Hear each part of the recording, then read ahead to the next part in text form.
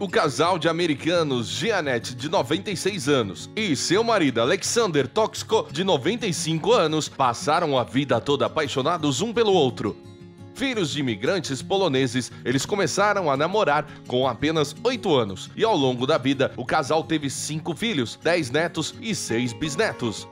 Mas, há algumas semanas, Alexander sofreu uma queda e teve o quadril quebrado, o que o deixou de cama. Como a condição de Alexander declinou rapidamente, a saúde de Janet também piorou. O casal sempre disse que desejavam partir na própria cama, de mãos dadas, nos braços um do outro. Casados há 75 anos, eles cumpriram seu desejo final.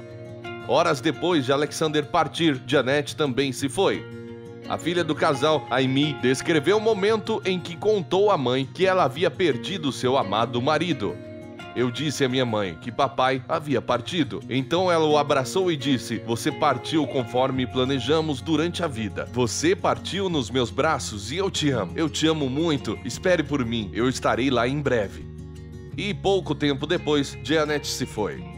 Em meio à dor da perda, Amy decidiu registrar o momento com uma foto e compartilhou a história como um testemunho de amor, dedicação e motivação para muitos conseguirem um casamento como os deles. Os corações deles bateram juntos desde que eu me conheço por gente. Foi a coisa mais incrível do mundo ver como eles ficaram juntos até o último suspiro.